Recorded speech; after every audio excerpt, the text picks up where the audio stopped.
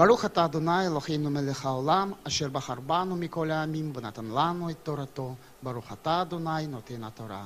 Благословен Ты, Господь Бог, Царь Вселенной, избравший нас из всех народов и даровавший нам свою Тору. Благословен Ты, Иешуа, ставший Торой во плоти, явивший нам спасение. Аминь. Давайте мы присядем. Итак, недельный раздел называется «Трума» и означает «приношение». Это 19 раздел Торы и 7 раздел книги «Шмот», «Исход». Имя свое получил по первому значимому слову текста «Вайдабер Адоной эль Моше лемор дабер эль бне Исраэль вайкху ли трума». И говорил Господь Моше так говори сынам Израиля, и пусть возьмут мне приношение.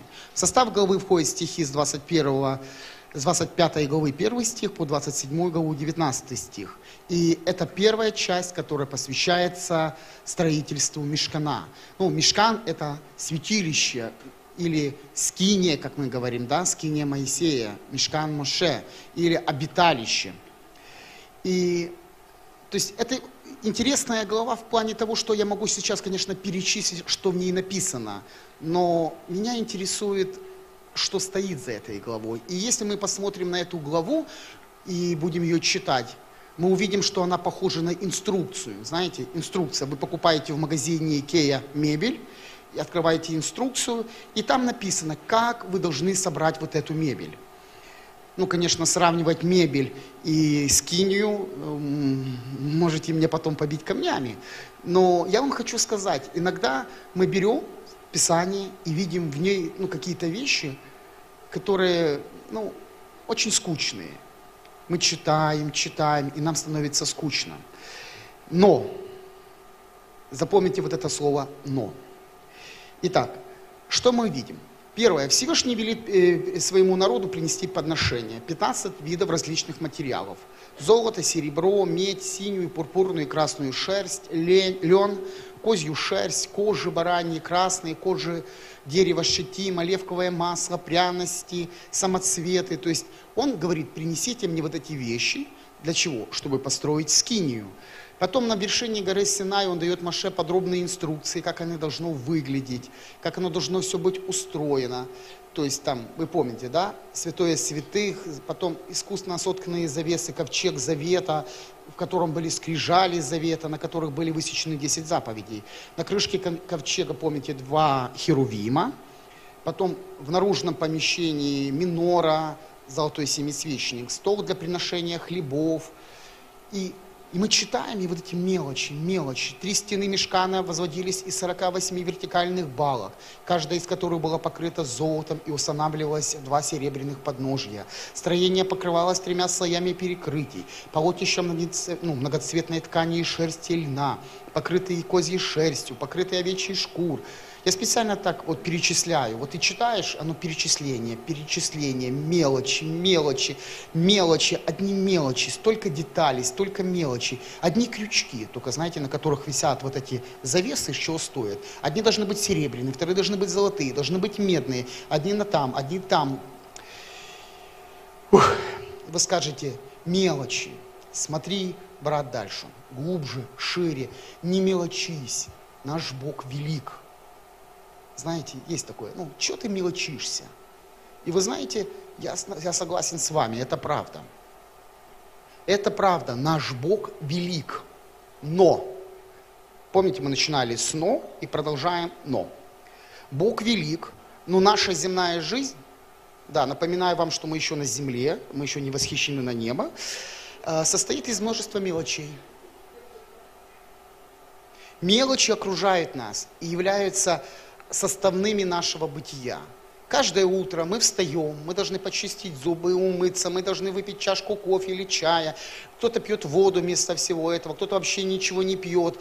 Э, то есть мелочи, нас окружают мелочи, постоянные мелочи, мелочи, мелочи, тут, здесь, там, они везде. От них никуда не иди. И знаете, самое страшное, что, вот, ну, то, что страшно, ничто не раздражает, как мелочи. Вот Вроде бы все идет, и потом раз какая-то мелочь, и настроение испорчено. Стоишь на остановке, подходит маршрутка, опаздываешь, она забита, уехать нельзя, все, мелочь. Настроение потеряно. строишь, не знаю, построил забор, один гвоздь забыл, развалился. Мелочь, кажется, да, помните? Потому что в кузнице не было гвоздя. Мелочи. И ты читаешь эту главу, и ты видишь мелочь, мелочь, и Бог обращает внимание, возьми столько-то того, возьми то, это будет делаться вот так. И вот это все мелочи, мелочи. И знаете, и самое интересное, что я обратил в размышление, ничто не разрушает человеческое величие тщеславия, как пренебрежение мелочами. Помните Титаник, да?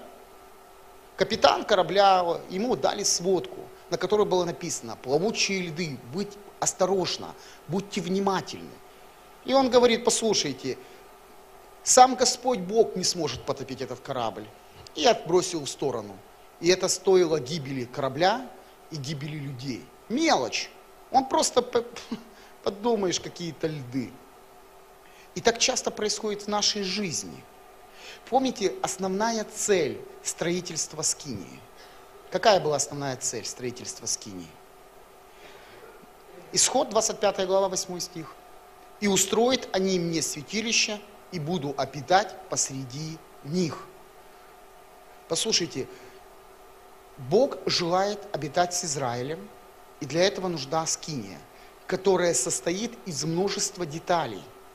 Но совокупность этого, этой, вот этого множества мелкого созидает одно целое и вмещает в себя великого Бога, который проявляется через в этой скинии.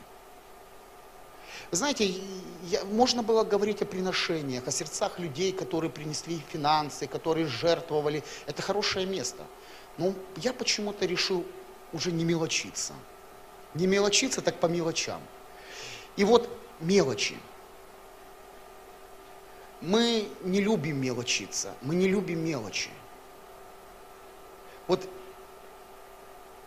понимаете, вот к чему я хочу, чтобы вы обратили внимание – Бог, наш великий Бог, Творец видимого и невидимого, является Творцом мелочей. Помните, вначале Бог сотворил небо и землю. Потом Он сотворил что? Природу Он сотворил. И Он сотворил каждое растение, каждый листочек, каждую травинку. Он, воз, он, он сотворил каждое животное, Он сотворил каждый камень. Послушайте, просто, как говорят в Израиле, Йофи – прекрасно. Итак, и вы понимаете, за каждым из этих значений длина каждого полотнища должна быть 30 локтей, ширина 4 локтя, такого размера должны быть 11 полотнищ, соединить отдельно 5 полотнищ, отдельно 6. Что-то стоит важное. Что-то важное. И это не мистика, и не тайное знание, в которое могут войти только посвященные.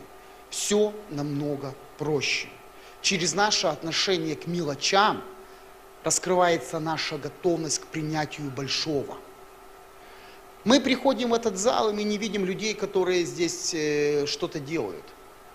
Но если бы они не были, может быть, нам пришлось бы сидеть на земле. Понимаете? Мелочь. Мы не видим этого. Но для того, чтобы что-то произошло, кто-то должен что-то сделать. Писание говорит, что верный в малом будет что? Верен в, во многом верен, а неверный в малом будет неверен и во многом. И мы можем смотреть на скинию, на скинию Маше, как на прообраз общины Божьей, на прообраз церкви, на прообраз мессианской общины. Потому что э, так же самое, как скиния, она состояла из множества всяких мелких деталей, так и тело Мессии состоит из множества членов. Мы все живые камни великого храма, единого храма общины Божьей. Каждый из нас является уникальной и неповторимой деталью Божьей общины. Ибо тело, ибо как тело одно, но имеет многие члены, так и все члены одного тела, хотя их и много, составляют одно тело, так и Машиях. Ибо мы все одним духом погрузились в одно тело. Иудеи или елены, рабы или свободные, и все напоян, напоены одним духом. Тело же не из одного члена, но из многих.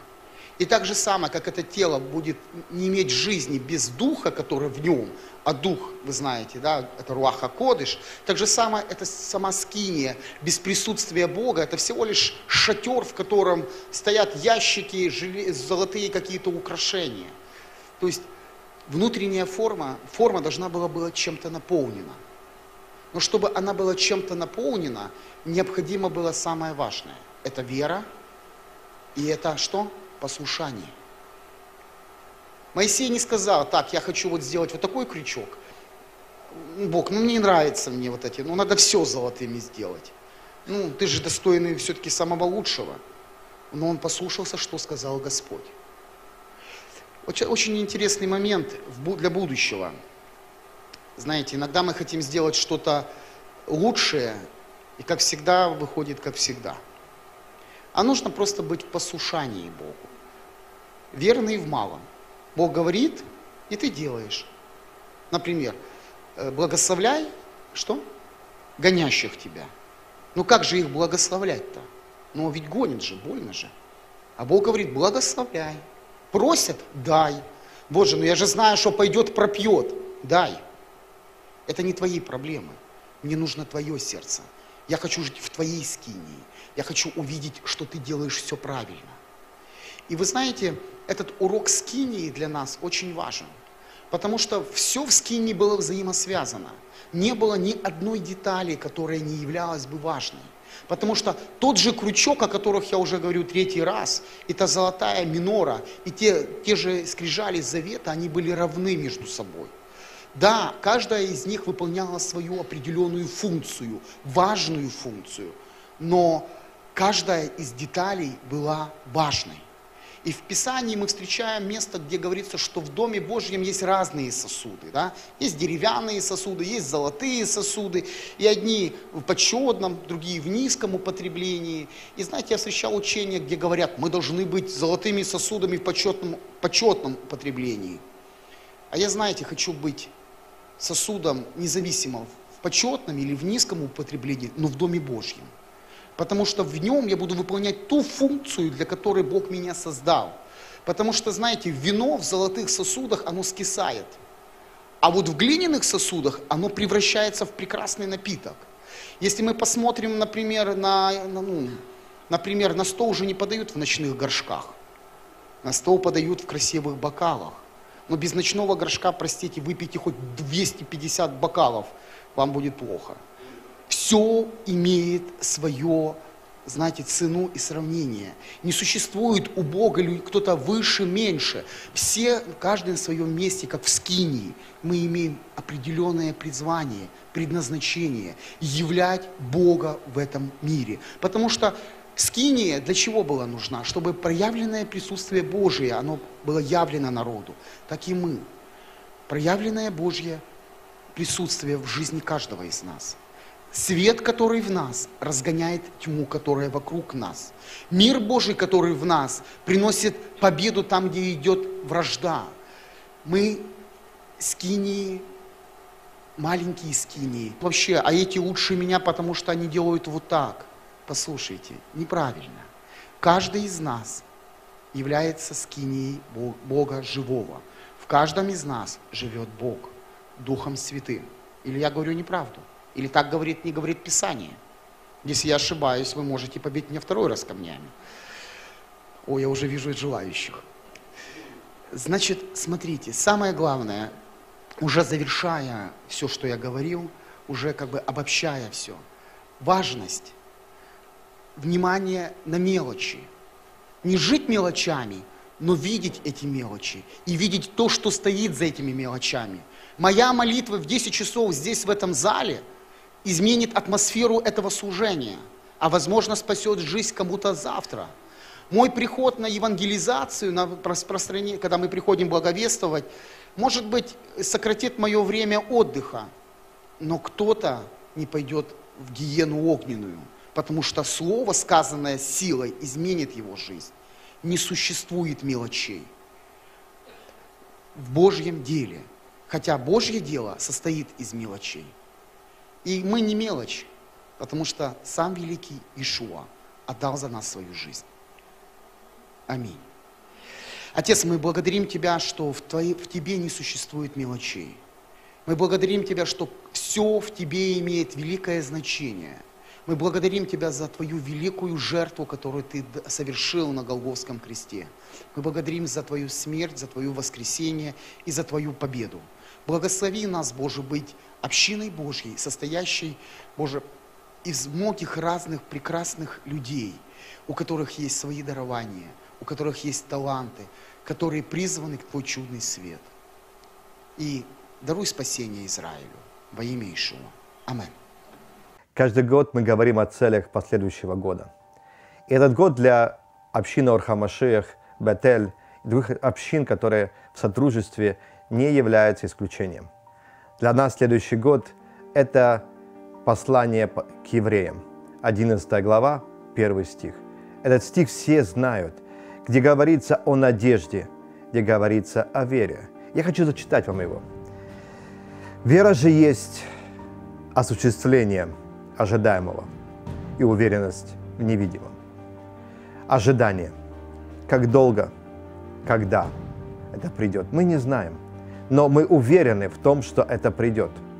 И мы говорим о том, что еще невидимое станет явным здесь на земле.